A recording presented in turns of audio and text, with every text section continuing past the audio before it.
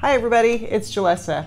And this week I thought I'd try something different. Um, I'm part of a Facebook group called the Jewelry Makers Guild, and the challenge for March is to make spinner rings. And I've never made a spinner, spinner ring in my entire 16 years doing this. So I am going to make a simple, very easy spinner ring, and hopefully you, you'll enjoy watching this. I can't guarantee that it's going to be perfect because I'm sure it won't be. So let's get started.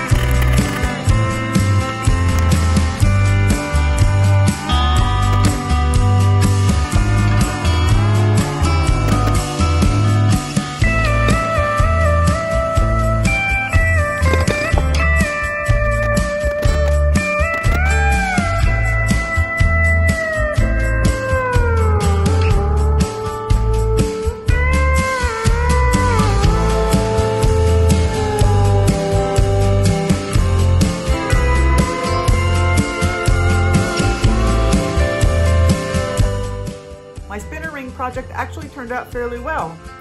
It spins. I'm so excited. Anyway, if you like this video, leave me a thumbs up down below. If you have questions, leave me comments down, down below as well. And don't forget to subscribe to my channel to see more videos like this. Thank you, everybody. Goodbye.